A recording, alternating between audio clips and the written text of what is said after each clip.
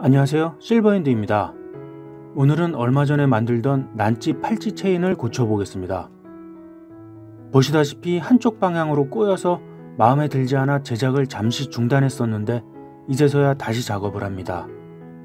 고무 위에 체인 두 칸을 잘라놓고 꼬이는 방향을 잘 보면서 위치를 다시 잡습니다. 많이 돌아가던 방향을 살짝 덜 돌아가게 수정하면 됩니다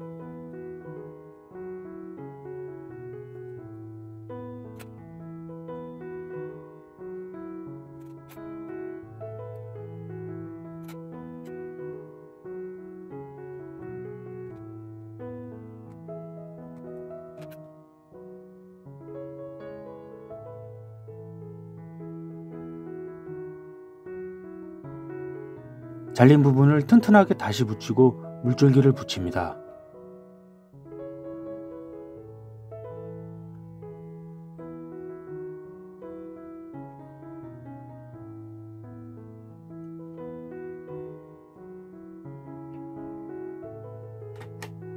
실리콘으로 틀을 만들었습니다.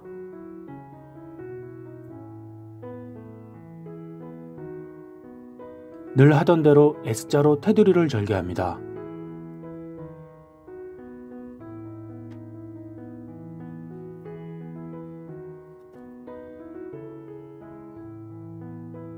난집 옆 라인을 따라 절개하면 됩니다. 작고 간단한 모양이라서 절개는 그리 어렵지 않습니다.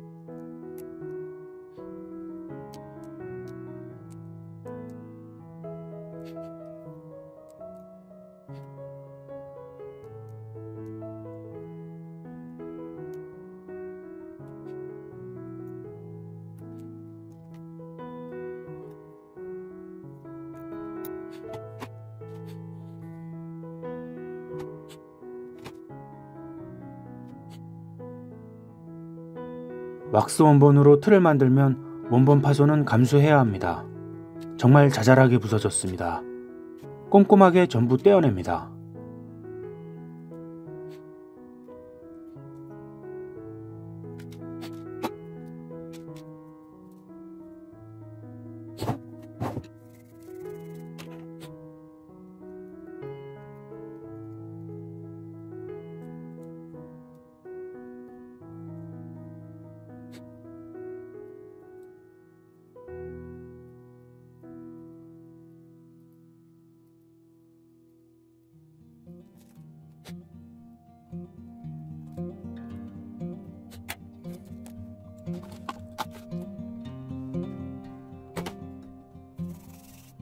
속칼질이 잘 보이게 가루를 살짝 묻힙니다.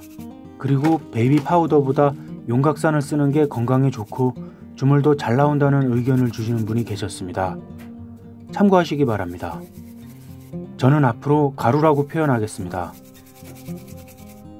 남발을 하나씩 속칼질하면 시간이 많이 걸리기 때문에 두 개를 한 번에 이어서 속칼질합니다.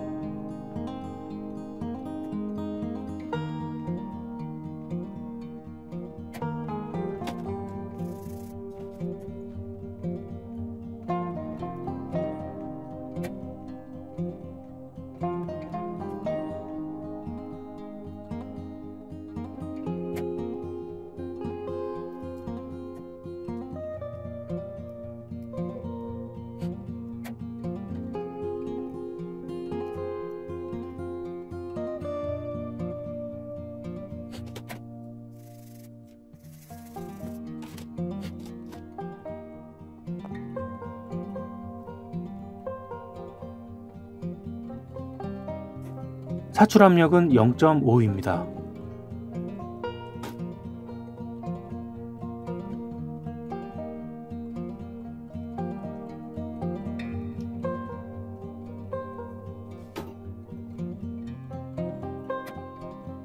깔끔하게 잘 나왔습니다.